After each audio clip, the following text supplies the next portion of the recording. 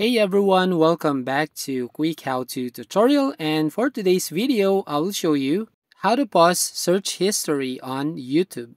So first open up your YouTube app as you can see here on your screen and then go to here on the library section at the bottom right corner and you'll find here the history. So all you need to do is go and tap on view all and from here you'll find all the history. So tap on the three dots at the top right corner of your screen, then tap on manage all history.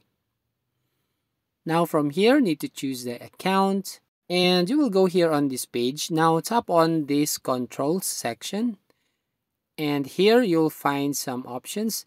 As you can see on sub settings, include the YouTube videos you watch, include your uh, searches on YouTube, include YouTube voice and audio activity. So pause search history, just uncheck the second one. So as you can see, pause YouTube search history.